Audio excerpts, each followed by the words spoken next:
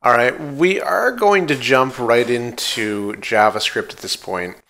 Uh, so JavaScript is really fun because it is uh, a scripting language, which is, I guess, like a programming language. Uh, the, there, there are differences between the two, but um, you can create functions and classes, and you know there's event handlers and stuff like that. So that is what we're going to be doing in this video. So I'm going to right click on uh, my web course root directory here, and I'm going to create a new directory called JS for my JavaScript files. And in here, I'm going to create a JavaScript file, and I'm going to call it main. It's going to automatically give it the extension .js. So this is what we're going to be writing our JavaScript in. And you can include it much like you uh, include a style sheet.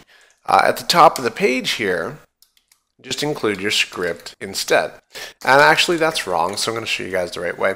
Uh, it's generally recommended to include your scripts at the bottom of the body.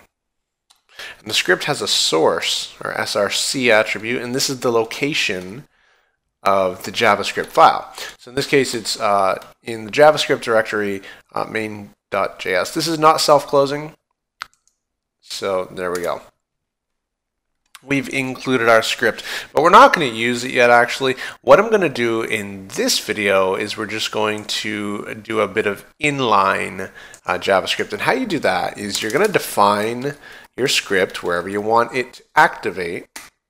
And then we're going to type uh, document dot write, and I'm going to write hello world and I'm going to save it. The document means the actual document, and write is a method of that. So just to get you guys writing hello world, I'm going to save this. I'm going to refresh. And up here where I put that script, you'll see it says hello world. And so that's how to write to the document in JavaScript. Now, if you guys have no programming background, what this basically means is document is a is an object and when you write an object, each object has methods and variables that you can print out. So, um, so the method here that we're calling is write. And a method typically has uh, uh, brackets here, and you can supply arguments to it. So an argument in this case uh, is hello world. It's a string, it's quoted in text, and we're going to be getting into more programming concepts as we go along here.